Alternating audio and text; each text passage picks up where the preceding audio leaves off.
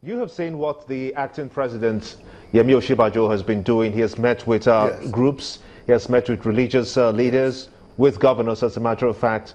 And the message that he has passed across to them is that of unity of this country. Would you say that yes. that approach is able to give an understanding that what the acting president wants is stops at unity, or does it progress to the question of uh, restructuring? That's a beautiful, beautiful question. And I, I think the acting president did excellently well in doing that. But that's only half the story. It is one thing for the acting president to tell the people. It is another thing for the people to tell the acting president. Those meetings do not create a framework where the acting president will listen to the people. And the environment itself does not create the framework. I mean, look, he's inside Aso Rock, inside with all the protocols duly observed and everything. Nobody can really speak his mind. You know, so you need to create platforms in which, you see, for too long, government has been telling us, telling the people, giving directions, issuing this and issuing that. It is high time people in government should listen. I mean, look at what IBB is saying. IBB, IBB, there was a particular time anybody who called restructure IBB would call him an extremist. There were times when they would say no go areas. You cannot discuss this and you cannot discuss that. Now the chicken has come home to roost. And you'd have to face reality. So the man who refused restructuring in the first time is now an apostle of restructuring. It should tell our leaders something that the way you see yourself in power is absolutely different from what power is when you are outside. And that is the truth and the reality of life. But the government and the people and the Nigeria that God give, gave us is for the people in government and for the people outside government. For us to live together and to be mutually reinforcing of each other. Let's take a look at some it of what is for raised. people from the southwest. Uh, Mr. Byron, just, just a minute, pardon me to jump in. Uh, let's look at some of the issues that he raised there. Uh, then, I mean, the, the dailies described it as this is uncharacteristic of him uh, jumping into the fray in a rather lengthy manner, speaking about a subject which, as you also highlighted, he would have said, no, no, no, no, don't go this way yet. But he even went as far as saying, even the idea of having federal roads in some states, in local governments, he thinks, look, these things are outdated and we need to change strategy. But start with where he says he wants, uh, he's suggesting perhaps a shrunken federal government, devolution of power to the states, and maybe the government at the center will just concentrate on maybe foreign affairs, defense, and and this federalism, I mean, that sort of federalism we've seen in some other countries. Are some of those things, you think that, yes, indeed, very much acceptable? Absolutely. You see, the, the, point, the point is this over time, when we were growing up in the 70s and in the 80s and in the 90s, you will hear federal government take over this. Federal government has taken over that. Federal government has taken over education. Federal government has taken over this. So the federal government has become a machine that has, is carrying more loads that its head and its neck can sustain. And so when you have a bended neck and the head is almost having a headache, what do you expect? This is what you expect. So the first thing that anybody will do is to start removing some of the load. And you need to go back because there's a template.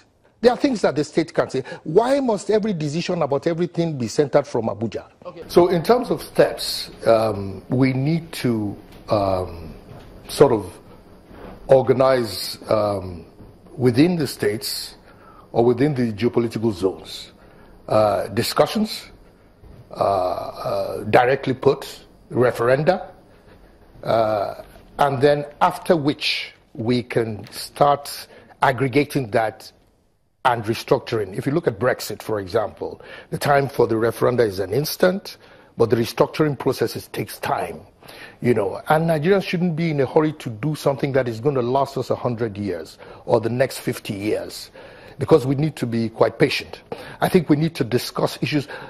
As you said, most of the speakers had said, you know, in the, in the clip you, you showed, um, the exclusive list in the Constitution is too heavy. 50% of what is there should not be there at all.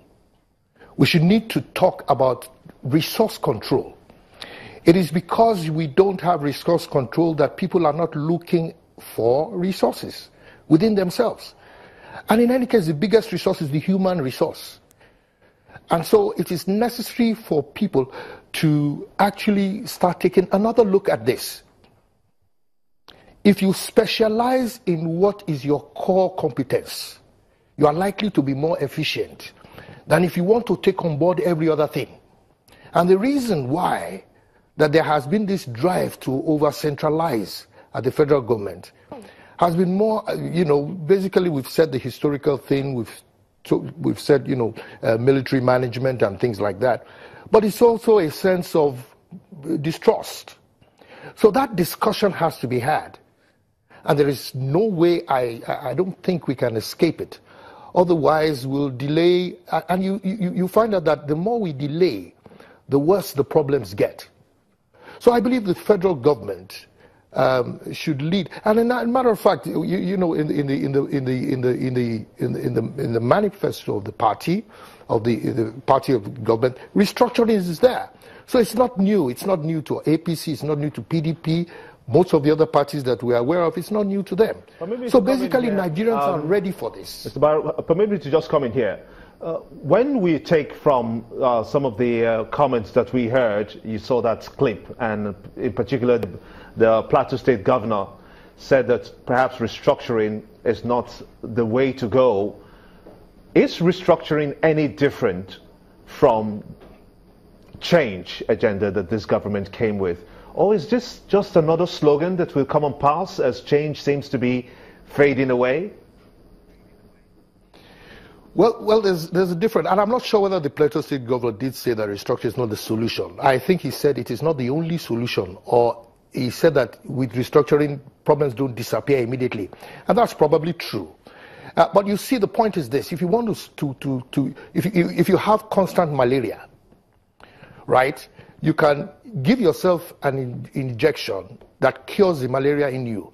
But you will go back, if you go back to live in a mosquito infested, dirty environment, you will have that malaria again.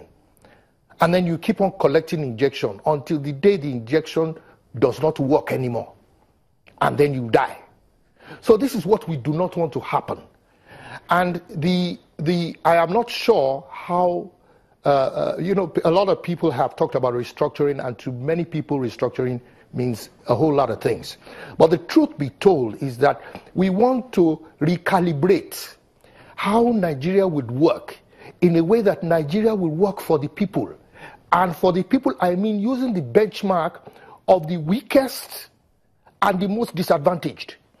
How does Nigeria work for the ordinary man on the streets who does not have a godfather, who does not know a policeman who is a friend, who does not know who a judge who is a friend, who will want to apply for a job simply on the strength of his name and on the credit of his qualifications.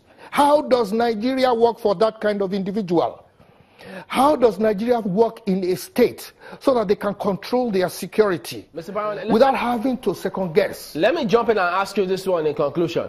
What would your advice be to those who may say, wait a minute, I'm benefiting from this system. I need to do what I can to make sure uh, I hang on and get what I can up until while I can.